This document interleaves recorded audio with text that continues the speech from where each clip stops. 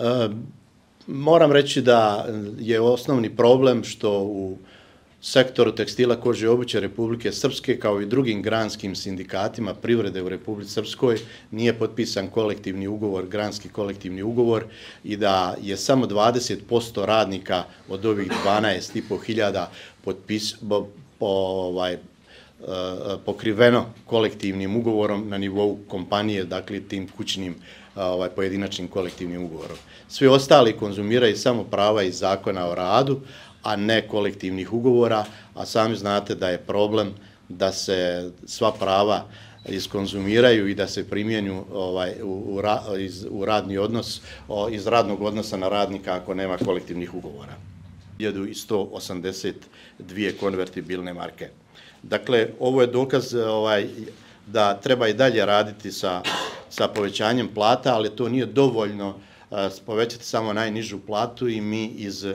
Granskog sindikata tekstila kože i obuća Republike Srpske, kao i cijelog Saveza sindikata Republike Srpske, insistiramo da se e,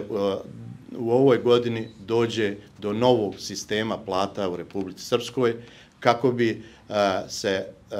na pravedniji način isplaćivale, a prije svega obračunavale plate svim radnicima. E, nije dovoljno da isplatite najnižu platu, a ostalo ovaj eh, da poslodavac da onoliko koliko on misli da može ili da treba da da svakom radniku po da. To treba propisati kolektivnim ugovorom. Najniža plata prema našem projektu i Saveza sindikata Republike Srpske podrazumijeva da svi radnici u Republici Srpskoj imaju istu cijenu rada,